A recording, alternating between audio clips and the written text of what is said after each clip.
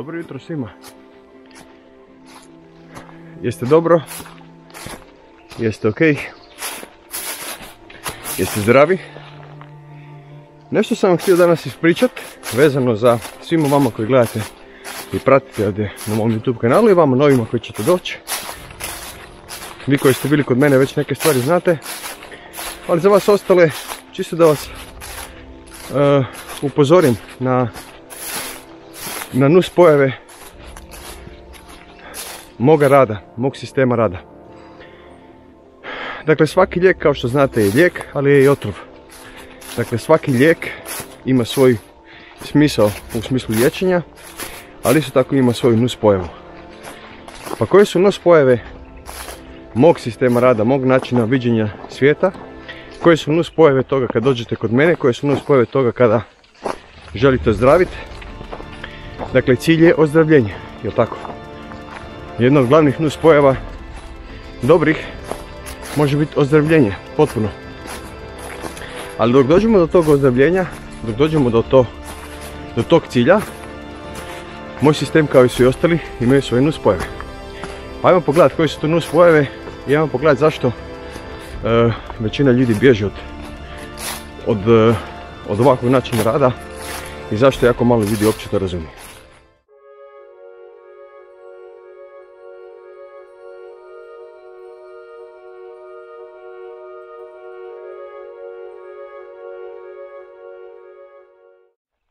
Ovako. Najveći problem medicine i najveći problem tehnika i metoda koje se danas koriste nije liječenje, nego nus pojave.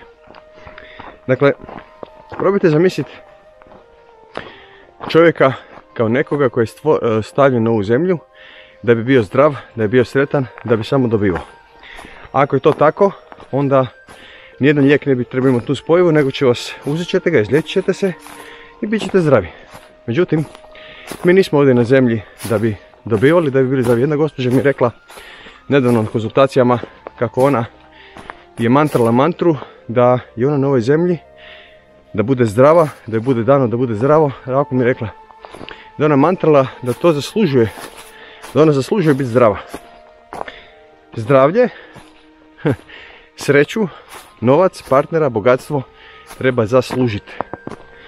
Dakle, zdravlje treba debelo, debelo zaslužiti. To ne zato što se morate nekom pokoravati i biti nečija lutka tamo na, na koncu, nego zato što morate poznavati zakone svemira i zato što morate razumjeti da bilo kako odstupanje od tih zakona će dovesti do toga ne da vas se kažnjava bolešću jer bolest nije kazna, bolest je samo opomena da idete u krivom smjeru. Ukoliko bolest počnete gledati kao kaznu, onda ćete smatrati da živite u nepravednom svijetu koji je nepravedan prema vama jer zamislite, vi ste tako dobri, vi svima se dajete i na kraju se vi razbolite. A ne razumijete da dajete iz ega i da dajete iz očekivanja jer onda kad ne dobijete nazad ono što ste dali, onda ćete biti razočarani.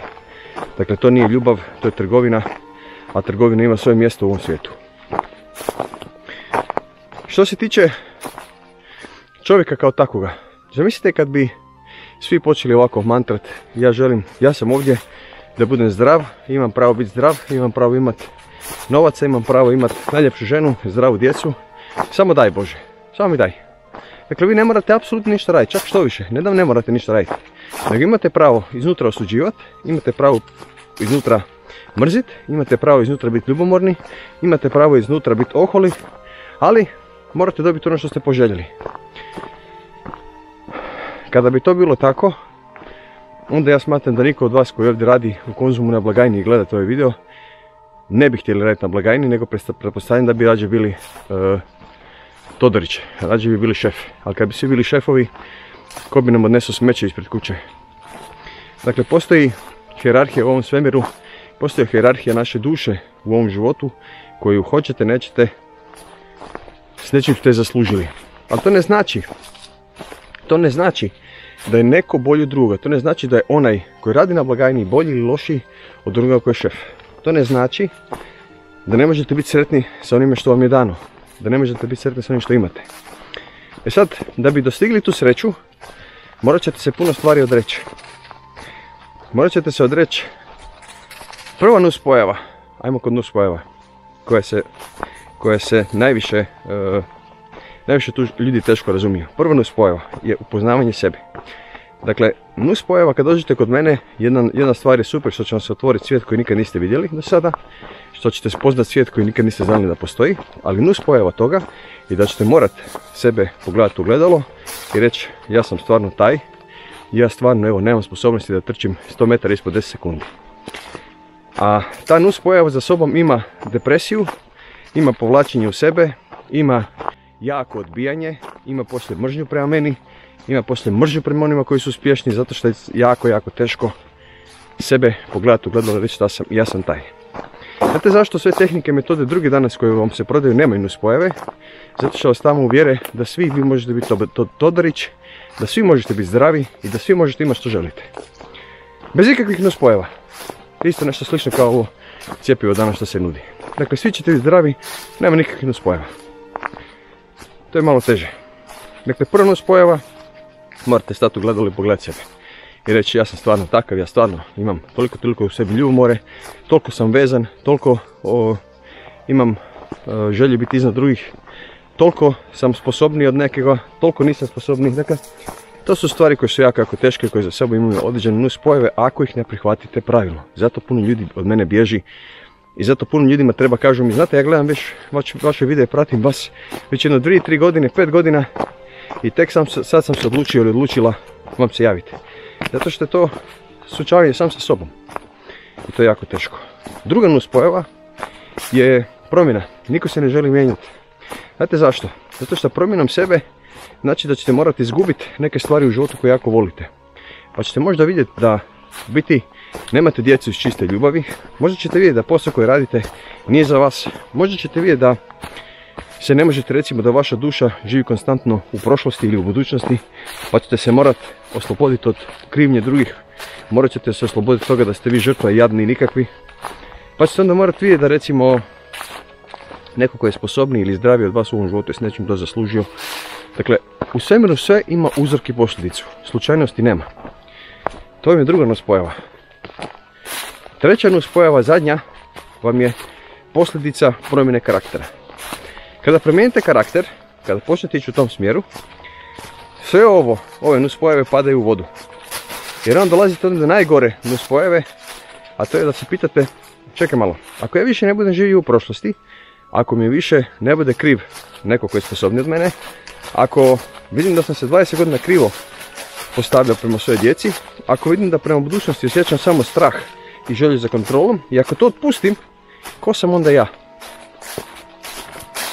Dakle, onda dolazi ono veliko pitanje, ako promijenim sve što sam znao do sada u životu, da li sam spreman, zadnja spojeva, ta treća, kod promjene karaktera, da li sam spreman odbaciti sve što imam sada, svu iluziju koju imam sada nečega, za to samo zato da bi bio zdrav. Znate što, 90% ljudi će vam reći, ne nisam. 90% ljudi će reći, nisam spreman to napraviti samo da bi bio zdrav. Zadnja nuspojava, kao što sam rekao, je priznavanje sebi, kada spojimo ovo sve skupa, kada upoznate sebe, da ćete se morati odvojiti od ovisi kako kod koga, ali ovisi koliko ste, koliko je vaša duša vezana za nešto. 90% stvari od onoga što ste radili do sada, 90% ljudi s kojima ste bili do sada i 90% iluzija s kojima ste živjeli do sada. I vjerovali ili ne, ono što sam ja vidio je da danas je čovjek je rađe spreman imat tumor, do, imat neizlječivu bolest, imat bolesnu djecu, imat bolesnu sudbinu, rađe je to spreman, nego se samo odreći iluzije onoga što smatra da je za njega sreća.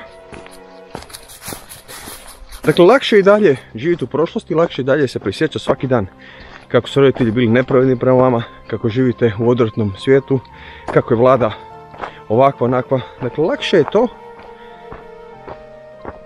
nego biti zdrav. I to je ona nus pojava e, mog sistema rada. I to je najveća iluzija 21. stoljeća i najveća najveća podvala 21. stoljeća, ne samo 21. nego 20. stoljeća. U biti ta podvala je krenula od New Age-a i onih 60-ih, 70-ih kad su oni hipi sjedili tamo na travi, cijeli dan su bili napušeni i širili su ljubav. Međutim, njima je ljubav bilo predstava ljubavi, je bila predstavljena tako da su bili, ono to se zvalo free, free love, znači oni su bili slobodni, imali su odnose ovako javno, ko je kako s kim htio, ko je šta htio i posljedice toga normalno se zna. Poslije je došla e, velika e, veliki problem poslije bio sa sidom, sa problemima, sa ovim svojim stvarima. Dakle, ta lažna e, predstava te duhovnosti istoka, ta lažna predstava toga da smo mi biti ovdje na zemlji da bi samo dobivali, ta lažna predstava da vam treba biti nešto dano za ništa, nas je dovela danas u 21. stoljeće tu gdje je. A dovela nas je u to da se klanjate onima koji vam obećaju budućnost, dovela, vam je, dovela, vas je do tu da Boga nema. Kada pričamo o Bogu, ja sam vidio jednu stvar, a to je da imate onih ljudi koji rade na sebi 20 godina, pa su bolesni i bit će bolesni. I imate onih ljudi koji ne rade ništa. Jednostavno su živi.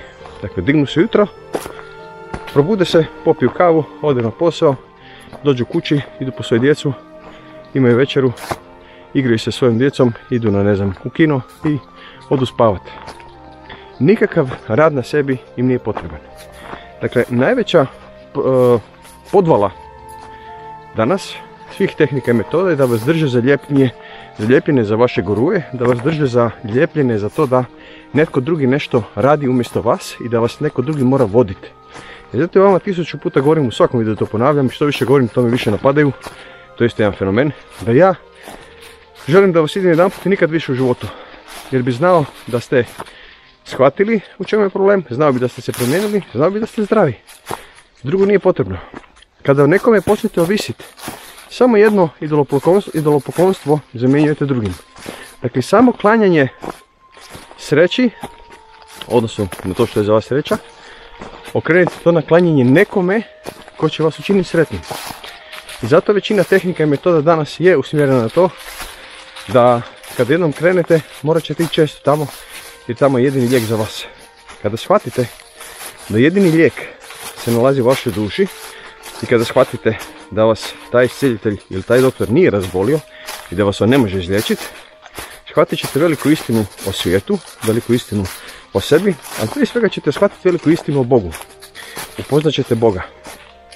Boga ne možete upoznati u crkvi, ne možete ga upoznati u džamiji, ne možete ga upoznati u sinagogi, ne možete ga upoznati nigdje. Zašto? Zato što tamo nisu ljudi koji poznaju Boga. Tamo su ljudi koji poznaju svoju sektu, koji poznaju svoju, uh, svoja pravila i koji pod svojim pravilima drže sve one koji smatraju da niko drugi se ne može približiti Bogu osim njih. I od tuda vam odmah agresija, čim, čim se počne spominjati nešto van onoga što su oni e, navikli što znaju. Zašto? Zato što je vrlo jednostavno. Ko bi onda išao tamo? Ako bi skužili da tamo Boga nema. Ako bi shvatili da su to ljudi koji su najčešće, najčešće na puno nižem nivou duhovnog razvoja ili duševnog razvoja nego što ste vi, onda bi se zapitali kome se to biti klanjate. Meni nikad nije bilo jasno kad sam to gledao, puno puta mi nije bilo jasno zašto se jedan vrhovni duhovni vođa vozi u blindiranom autu i zašto se vare šahte kad on dolazi u neki grad. Zašto se vozi u blindiranom autu? U kojem blindiranom autu se Isus vozio? Ko je njega čuvao tamo? Čovjek je rekao, evo vam moje tijelo, evo vam sve što želite. Moje carstvo dolazi od gore, ne od vas. Dakle, ako čovjek stvarno boži, onda se nema čega bojati. Pa čega se boje tamo? Zašto imaju svoje banke, zašto imaju svoje države, zašto imaju svoju vladavinu? Zašto se niko ne može približiti Bogu nego preko njih? To je problem današnjice. Isto je sa tehnikama, metodama, isto je sa današnjim gurujima, isto je sa, e, sa razno raznim tamo odabranicima i tako dalje. Ako ne vjerujete, pogledajte, imate danas 21. stoljeće, imate YouTube, podite pogledajte. Imate jedan prekrasan dokumentarac na Netflixu, Wild Wild Country se zove, divlja zemlja. Odite ga, pogledajte ga, pa onda poslije razmislite kome se to klanjate. Morate razumjeti jednu stvar, da preko čovjeka preko čovjeka do Boga ne možete doći. Bio jedan prije 2000 godina i oni koji su kojima je zasmetao zato što je pričao o svom ocu kojega, oni koji su mu rekli da koji su ga na kraju dali ubiti su Nisu ga mogli razumjeti zato što njihov bog nije onaj bog o kojem je on pričao. Pa onda normalno im se sviđalo to što su čuli pa su napravili to što su napravili. Ali hoću reći da je taj bio prije 2000 godine da ako hoćete nešto uh, saznati o tome, ako hoćete saznati nešto istini, čitajte to čiste informacije koje imate. Sve ovo danas su poluinformacije, sve ovo danas su izvrnute informacije i sve ovo danas je jedna velika obmana i laž. Dakle, vi se tako probajte razumjeti. Kada bi bilo toliko prosvjetljenih, kada bi bilo toliko metoda koje bi tako dobro radile i kada bi bilo tisuće i tisuće ljudi kao što ih i ima, koji idu na to, na to sve skupa i svi rade na sebi i svi se transformiraju, vibriraju. Ako svi vibrirate, transformirate se, zašto dolazite kod mene? Zašto niste zdravi? Neki dan sam pričao sa gospođom, kaže gospođa 20 godina radi na sebi, radi ovu tehniku, radi onu tehniku, ali bez tableta ne može živjeti dan danas. Pa onda vas ja pitam što vi onda to radite? To mi je krajnje nuspojava dolaska kod mene. Dakle, ukoliko želite biti zdravi i sretni, ukoliko želite e, stvarno ozdraviti, imate dva puta. Imate ovaj lažni put i zato vam ja kažem da je medicina tu najpoštenija. Jer tamo ne morate ništa raditi na sebi. Tamo tableta napravi sve, sve umjesto vas i bar nemate iluziju da nešto radite. Jer ovako ćete biti ljudi, e, pardon, ljuti, jer ćete 20 godina raditi i onda ćete shvatiti da niste ništa napravili. Pa ćete onda poslije suđivati onoga koji mi je rekao da to radite. Dakle, prije nego što teško opteretite svoju karmu sa time, prije nego što se još više razbolite, ako ste spremni prihvatiti ove nuspojave, možda i ozdravite. Do onda, sve najbolje vam želim. Ima li kakvih pitanja? Nema, sve jasno. Hvala lijepo, vidimo se u sljedećem videu.